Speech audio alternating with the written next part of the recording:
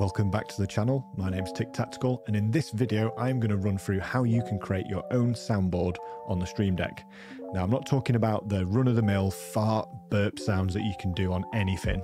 I'm not talking about that. I'm talking about using in-game chat to record and play back through your microphone, all with the push of a button. Okay, this can distract, annoy, have an advantage even in some FPS games. Also, it could get you banned, just as a disclaimer. But anyway, my name's Tick Tactical. Uh, you can find me on Twitch. I'm a variety streamer. I'll be on most days of the week. Uh, so come by, say hello, uh, drop a like and a subscribe and all the other stuff that you're supposed to say. But let's get into the goddamn video. So let's get started. I'm assuming you're going to have Stream Deck if you're watching this video.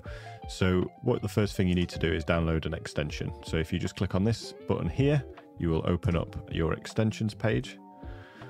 And then you want to search for Sound Deck. This is what is going to actually project the sound, record the sound, and all that goodness. So we'll click on that, click Get. Once you have that, it should open up in your side panel here. And there are a lot of different things that you can do, but for now we're just going to add in the sampler. So I'm just going to drag that over. So the sampler is essentially a button that you can hold down to record audio snippets. And then that button, once it's recorded, will change to a play button. And then you can play that through. The problem is you're going to be playing that over your default audio settings on your computer. You are not going to be playing it through your microphone, which is where the memes come in. Because if you can play it through your microphone, you can play it over any voice chat in any game, on any uh, call. It's brilliant. So to get it to play through your microphone, I'm going to go through two different uh, ways of doing this. The first one is using some free software called Voicemeeter Banana. The second is by using the Wavelink app.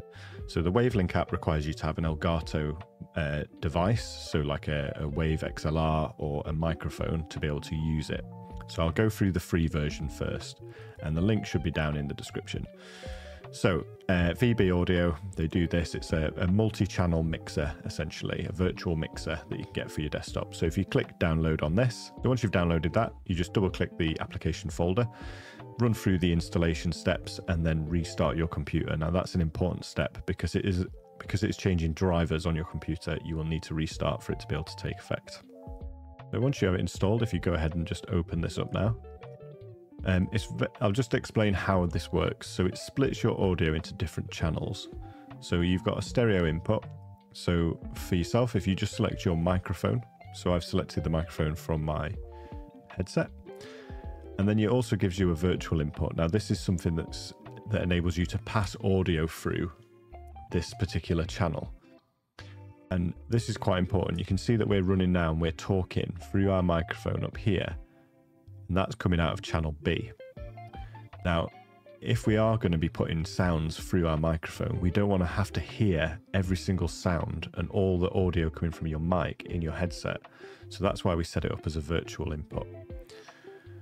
So to set it up in your Stream Deck, you will need to select a capture device. So for yourself, it's probably going to be default. This is just any audio that's coming from your computer.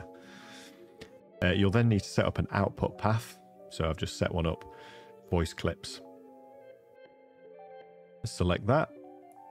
Uh, click encode to MP3 and normalize volume. And then this is where we set our new playback device. So this is where the sound that you're recording and playing is going to play through. Now we want to set this to our mic. So to be able to do that, as you can see in here, we've got loads of new settings for Voicemeeter. And we want to target Voicemeeter A here. So we want to target, sorry, we want to target Voicemeeter input. So if we look down the list, we should see Voicemeeter input. There we go. So if we select that, I tend to set mine to about 75% volume because it can get quite loud. Now that we've got that all hooked up, if we look over here, there's no volume or no noise coming from our main A input. Okay, so this is what's feeding out. So let's just test if this works first. So now it's coming through both channels. I want to check that this is working. So the best way of testing, so I'm just going to get a YouTube video up and I'm going to press play. I'm going to hold down when I want to clip. I'm Phil. I'm very Phil. There we go. So now I've got that clipped. If I press play on this, see the icon's changed in the Stream Deck to a play icon instead of a record icon. That means it's captured the audio. I'm then going to have a look over here and I'm going to press play on this clip. I'm Phil. I'm very Phil. So as you can see, it played only on the A channel and not on the B channel as well, which is exactly what we're after. Uh, I'm now going to look over at a mic check website to see if it is coming through correctly. So I've put a link to this in the description as well. And we want to test, we're looking at the microphone that we want to test. So because we're running out of B1, so let me just recap. So we've got an A and a B channel. These two combine to make a B channel, essentially. Mixes them down. So we want to go Voicemeeter out B.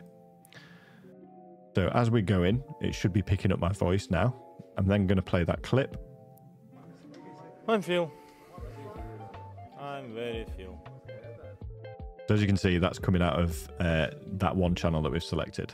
Okay, so that's really, really good. So it, anything that you want to set up will be coming out of uh, B on the Voicemeeter app.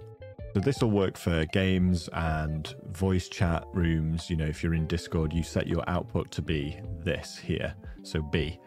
Um, and that's how you get your voice and soundboards to play at the same time. So now we've got this piece of audio saved, we can use this whenever we like. Um, if we want to clear this, we just add in a, a little icon like this. You can click on this. It gives you like a nice visual highlight when you click it. And once you've clicked it, you just click on the clip that you want to delete and that'll revert back to being a record button. So how I like to set this up is I like to have different rows for different uh, capture devices. Um, so I like to say, look, these are the ones that I've captured from game. These are the ones that I've captured using like a, a browser input, and these is this is voice chat. So anything that I record in here, I will save. So these are some uh, that I've managed to capture of my friends. I can save these and reuse them. So what I'd do is I'd uh, hold down, say, voice chat here, create a clip there, and then when I'm happy with it, great clip. Put that down there. Copy it. So Control C, go in here, paste it there, and then I've got that one forever. And if I go back, I just copy again and paste over it. So I've got a fresh soundboard ready to go. Now all these are set up for me using Wavelink and I'm going to get into how I use Wavelink in a second. So this one is set to capture from voice chat. This one is set to capture from browser and this one is from game. So this is, this correlates directly to game audio. So that's how I do it for for my setup, but obviously it might be different to yours. I quite like having multiple that I can press. You know, if I don't quite capture one right, I can go over again, press it again. So um, that's how you create and that's how you delete files, audio files, and you can play them over your mic.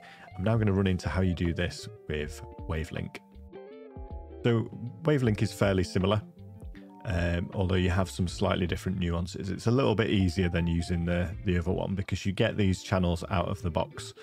Um, so assuming you've set all these channels up already, it's pretty easy to do. You can just click on that and select it and they give you some options to use. So your system sounds come out of there, your browser comes out of there, music, sound effects, game, etc. And then when you're mapping these to your settings in your audio minimize that a little bit. In your audio mixer, you can say, right, I want all my output devices to go off my system. I want my input device to be the microphone FX. And then you can go down here and say, look, uh, for any output, I want it to use browser. So any sound that comes from your, uh, let's just play this again. Any sounds that come from your browser will come through here only. So let's just try that again. How do you feel? Uh, heavyweight champion of the world. And it mixes all those down into one channel. So that's what you want to do first of all.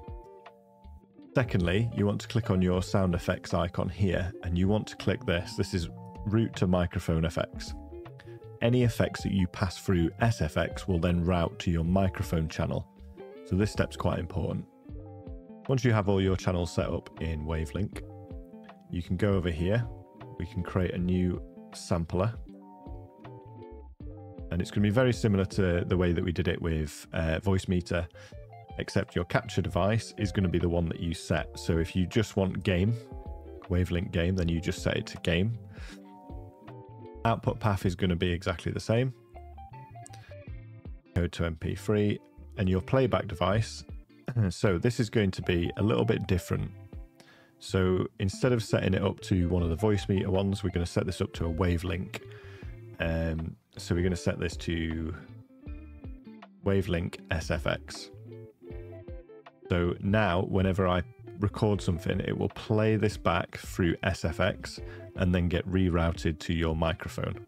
So I'm going to come back over to the one that I made earlier. So this is where I store all the sounds and all the recordings. I have multiple delete keys, which you can click and quickly delete a sound if it's not working. But it's as simple as that and it gets brilliant results. Um, so I hope this video has helped you. Um, I'm on Discord and there's a link in the description if you ever want to ask any questions, any tips. Um, make sure you like and subscribe this video and I'll be doing a load more in how to get into streaming and all the rest of that lovely goodness. So I'll catch you in the next one. Bye.